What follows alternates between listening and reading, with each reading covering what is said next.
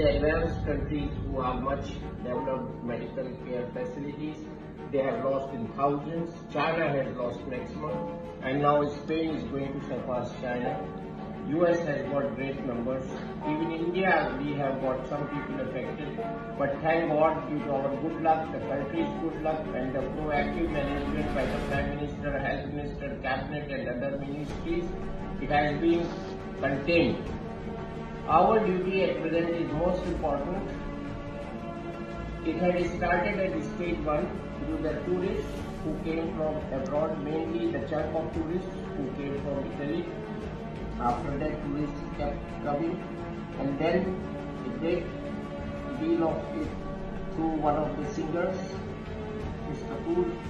Because of her, lot of sensationalization of this place. Most of the people who went into her event did found negative, so that was a good part of the story. But the whole state of Uttar Pradesh got sensationalized. A traffic from uh, London to Delhi, Kanpur and Lucknow made everywhere, everywhere sensation and made of course a good thing also happened due to this that people were aware of precautions and since next day Prime Minister addressed the nation and then after two days on Sunday we observed a month lockdown